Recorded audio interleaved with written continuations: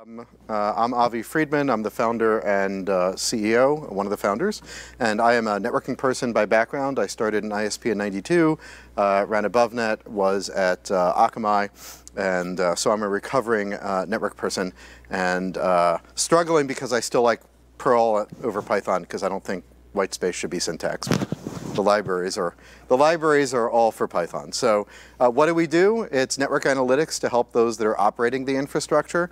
Um, so it's data and then analytics on top, and then the things you can do on top of it. About half of our customers are enterprise, and about half of them are service providers.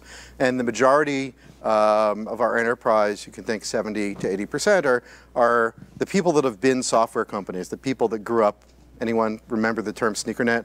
Before sneakernet. Um, so where you know they could count on the on uh, digital delivery, uh, the internet, and things like that.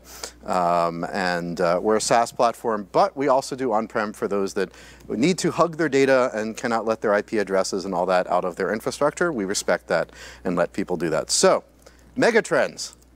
Everyone reads about these, and they're all awesome, right? Cloud makes everything uh, easy, fast, cheap, trouble-free. Um, automation, if you go to, I don't want to pick on any particular vendors, but you know their trade shows, it's all closed-loop automation uh, is the promise, and then you go to the shows and it's write a Python program to do this one subtask that you actually do using these libraries. DevOps is awesome because we're all irrelevant, right? I mean, the developers just push code and then the vendors say, well, forget all that SNMP, it's all streaming telemetry now, figure it out, build your tools, um, and sometimes ignore some of the other equipment that you run that isn't with that. And of course, AI is going to come and take our jobs, and we'll all be relaxing, and we'll be in the WALL-E world on the hover, the hover, uh, the hover chairs. Um, so our take on that, what we actually see is um, multi-cloud, um, especially getting into it when you're actually running an infrastructure and making it work, including the monitoring and operations, not just the architecture, but the operations, is not cheap or easy. It can be a great thing to do. It's very fast to do. You can invest a lot to make it operable. Um, automation does not mean simplicity. So I was sitting next to Russ White and he said this, and I forget whether it was him or he was quoting someone, but somewhere someone's going to come to the people that can reason from first principles.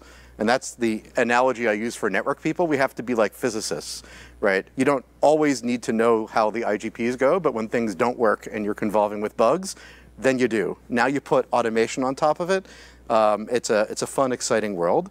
And DevOps, we're seeing, can't really ignore NetOps, especially you know, when you're going to multiple environments, you've got the internet involved, you've got cloud services you're using like Office 365 or Zscaler.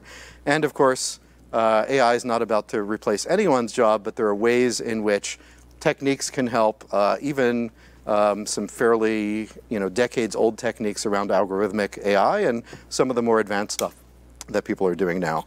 Um, so our headline, uh, why we started Kentik, is as the architectures evolve, operations need to evolve. And when I started the company, when I started looking in 2013, it was appliances, um, people trying to do their own stuff on top of Hadoop, and that was what led to uh, starting Kentik.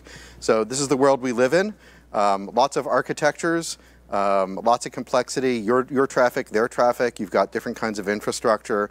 Automation, which is good, and then automation um, that can be confusing when you see the effects of it, and uh, attacks, and uh, the SH, IoT, um, and all those things going on. So our, our, our, take on it is, what's needed is, like the DevOps Utes um, uh, have observability as a term, um, Network observability actually means being able to understand everything about the network. It's from the electrical engineering side of it. Um, but to be able to see everything, and I'll talk a little bit about the telemetry we take, and then our, our view is also you need to enrich it to make it make sense. So you're not scrying at has anyone memorized all their IPv6 addresses in their network, the in-addr, in-addr zone? Um, you're not scrying at IP addresses, you know what user, application, context, um, and then you need to be, to be, able to have the systems help you. And our view is we're just at the beginning across really technology and platforms. So you'll see what Kentik is doing is trying to surface things you might want to look at, but then leaving the power um, of the humans. And then there are some things we're more automated closed loop like DDoS, some things people want to be in the middle of, and again, we'll show you some of that. Um, so what's our platform?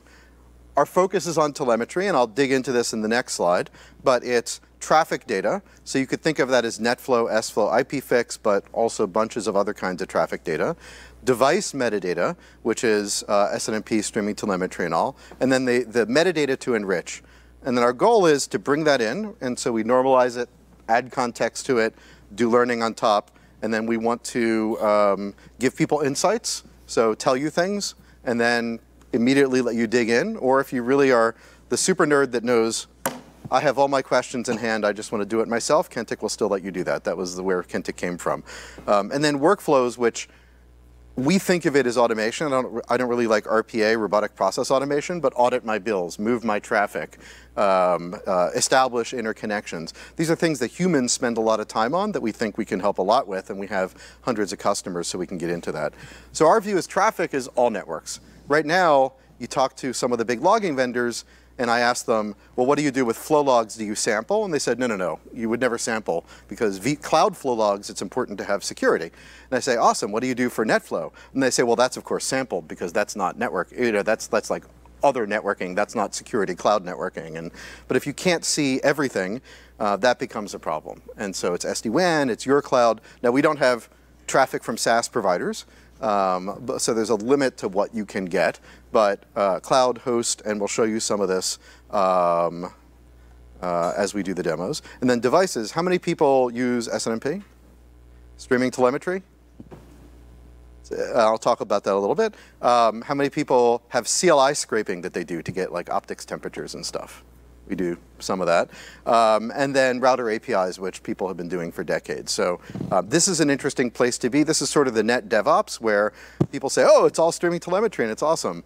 And then I was just at Nanog this week and I talked with three or four people that said, if you can't make your employer only use one vendor that only supports streaming telemetry, then you should just quit. And I said, well, you are entitled, and that's not the real world. Um, and people are not going to just, you know, there's enterprise, there's wireless, it's not going to happen.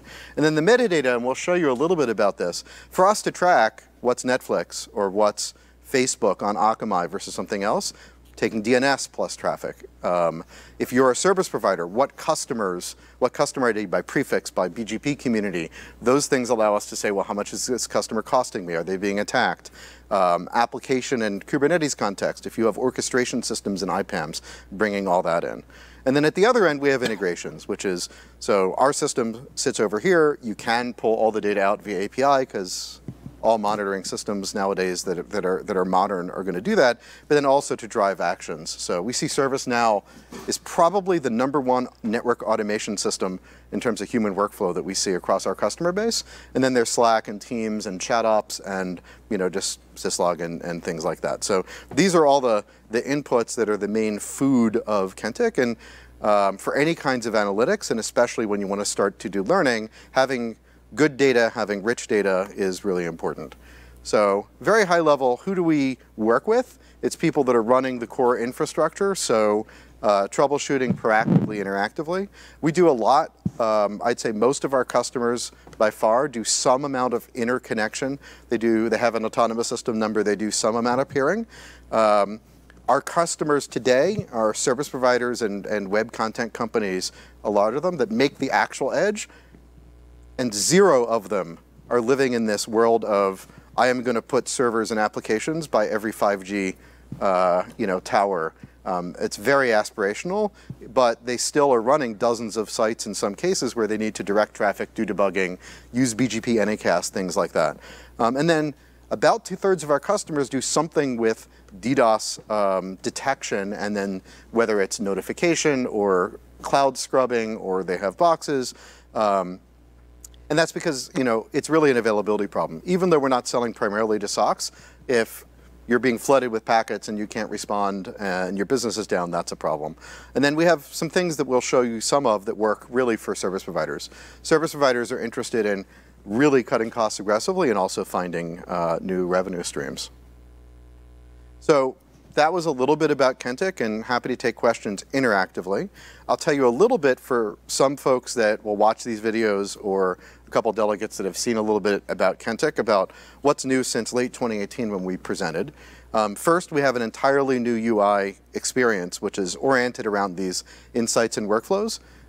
If you looked at Kentik in the past, it was very data driven, um, and you can still see that, and it's still in Kentik. We have all the detail, and you can jump off and customize at any point to see anything. Um, on the service provider side, as I mentioned with DNS, we can start seeing CDNs, um, Disney Plus, OTT providers. Um, we have the ability for people to take parts of Kentik and give it to an internal enterprise customer or a service provider customer. Um, when we last talked, we didn't have Azure. Now we have Azure. We have a host eBPF client so that we can actually see down to process ID level traffic information, but correlated all the way over with BGP, which we'll show you a little bit. Um, some new automation integrations, and then for those um, um, just continuing to make progress on a number of backend things. So RPKI validation for routing security has been very big in our customer base. Um, VRFs and just looking at new kinds of data center and WAN topologies and, uh, and things like that.